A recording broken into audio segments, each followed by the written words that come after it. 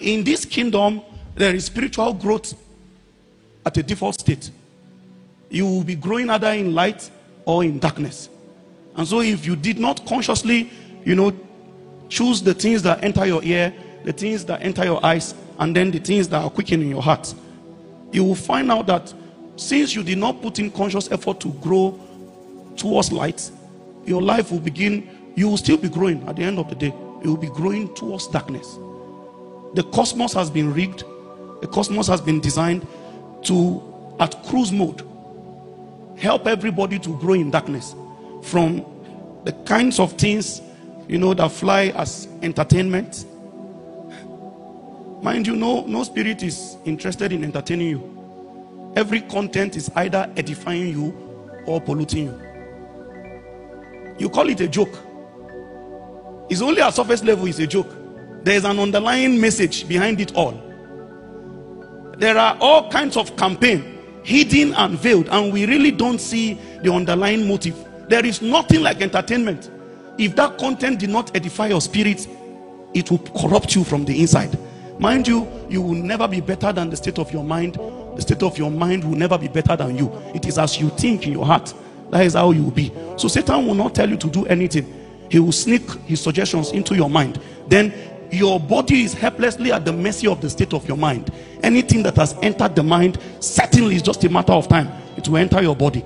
So we live in a world surrounded with all kinds of shades of immorality different layers of pornography and the young man the young woman is thinking why is it hard to live holy? When everything that enters you from the adverts from the you know fashion sense everything that enters you is actually selling some layers of defilement. I was sleeping one day my 300 level on campus. And I have this roommate that plays secular music very loud. And so I told him that I, I don't like it. So he would wait until I fall asleep. Then he will now play it. So I, I woke up one morning I wanted to go and take my bath I now heard a song inside my soul. I heard there's a song, it's All My Ladies.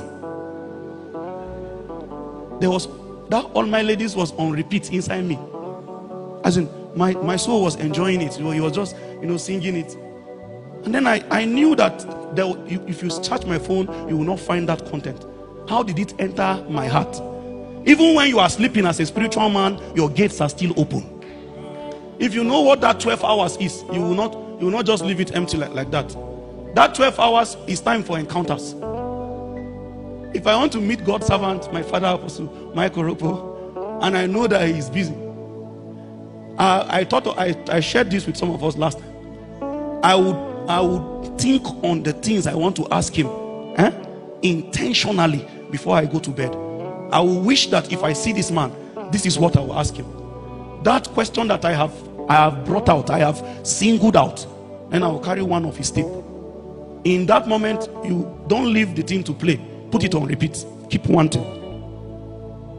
If it's a song, leave it on repeat. When the tape start playing, when you start sleeping, the chances that you will have encounter with that person that you know your ears is listening to is very high. And since you had premeditated that encounter, you have left some questions in your heart. The discussion you have in that encounter is exactly what you were thinking about before you went to bed. Sometimes you can even carry a challenge and say, I wish I can meet this person. I know this thing.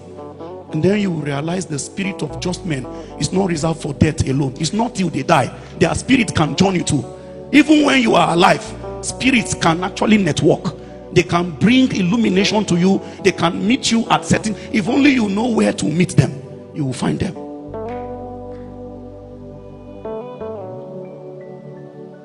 Man doesn't want to live holy. Man doesn't want to be righteous.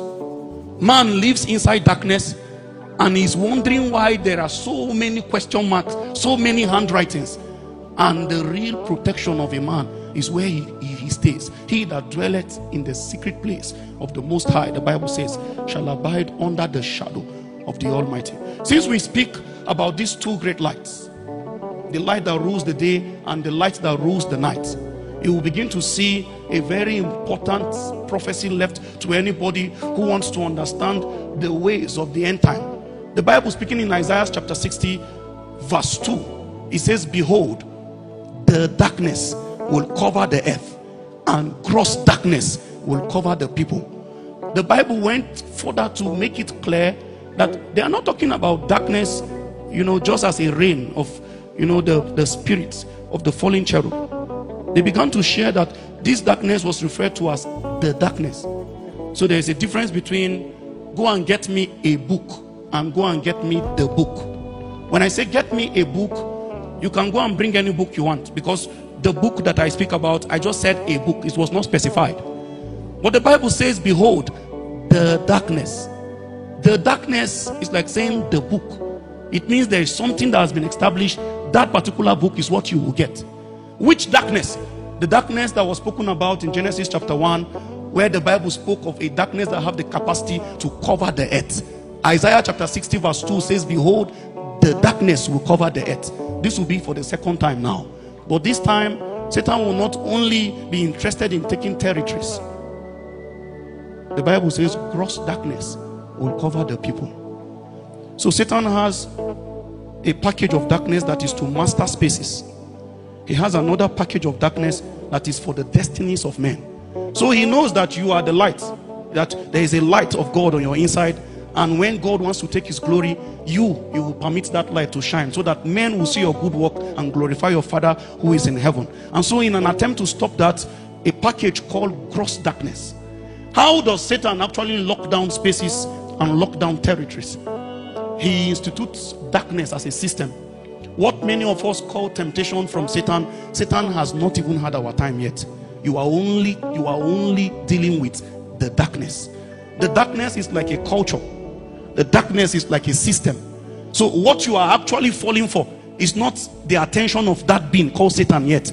It's just the system that he sets around a place. You go to certain regions and there are predominant sins in those places. Certain peculiar sin that reign in those places. If you see such kinds of you know um, appearance what you are dealing with in that place is the darkness that covers the earth there are many people who will be victims of that arrangement satan don't even know them yet the day satan will know you is when you overcome that layer that all men are subjected to. Mind you this package is only to keep a territory under dominion for darkness.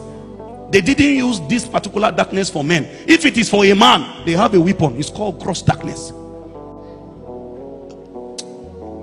You know you you entered you entered on Onitsha you now saw people dressing carelessly. You now say you were tempted. Satan did not tempt you. What you fell for is your atmosphere it's just an environment that subjected you. The day you will know whether Satan tempted you a creature the, it is then you will know that the weapon was formed and fashioned with you in mind. It was not the general weapon. They were thinking about you when they were concocting that weapon. Is that one? God says no weapon formed or fashioned against you will prosper. Any tongue that rises up against you uh, nothing is against you yet you just you, you just see somebody dressed carelessly in Abuja and you say that it's not easy. You are a victim of just an atmosphere.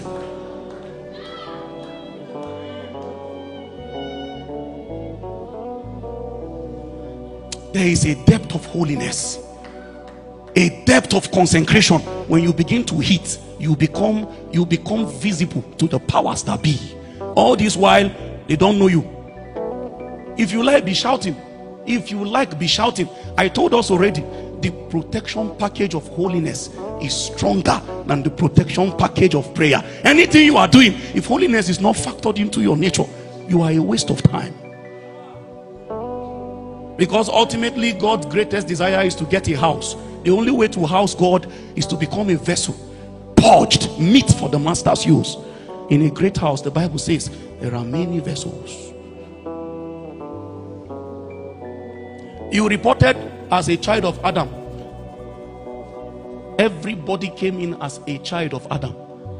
You will need to intentionally depart from that lineage and come under Jesus. Many of us are speaking in tongues, shouting, you know, and you get to know Ah, today, may God help us to drop anything we must drop aside.